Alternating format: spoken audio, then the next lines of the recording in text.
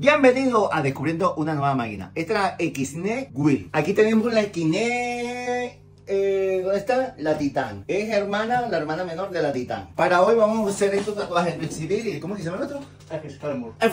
Ese. Con las agujitas de esquiné, por supuesto, esquiné, esquiné, eh, vamos a usar una 13 Magnum y una 9RM de 12, ¿vale? Entonces nada, vamos a ir, vamos a ir poco a poco y les voy a ir mostrando en el video el progreso del tatuaje. Bueno, ahora vamos a comenzar empezando con la 9RM. La montamos, prendemos, medio graduamos, aquí la tenemos y la primera cargada.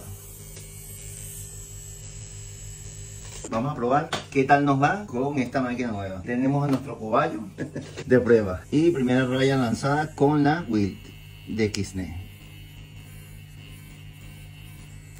¿Qué tal? Bien.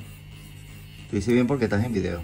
Después que termine, después que termine el video, me vas a decir, guau, pues sí marca bastante bien, bastante, bastante bien. Bueno, vamos a ir progresando en el tatuaje y lo vemos los dos, porque es este y ese codo que está allá. Bueno, ya hemos hecho el tatuaje número uno y ahorita estamos con el número dos. Seguimos con la misma aguja 9RM, con la skinhead width y el resultado que la maquinita es excelente. Es como la Titan, más liviana, un poco más pequeña, pero trabaja muy bien. De hecho, aquí creo que le bajé la potencia. Sí, estamos en 7 voltios. Vamos a seguir avanzando. Y así he concluido con los dos tatuajes. De verdad que la máquina se ha portado excelente y como siempre las agujas de XNE de ultra sensación. Esas las agujas son de un filo muy, muy, muy bueno. Aquí tenemos el Bexivir y el otro, no me acuerdo el nombre. Escríbemelo en los comentarios. Siempre se me olvida el nombre del otro, pero bueno, ahí lo tienen. Los dos codos ya tatuados. A ver, ¿a ti te gustan este tipo de tatuajes? ¿Te gusta? Si te gustan, coméntalo para yo saberlo. Sígueme para más videos como este.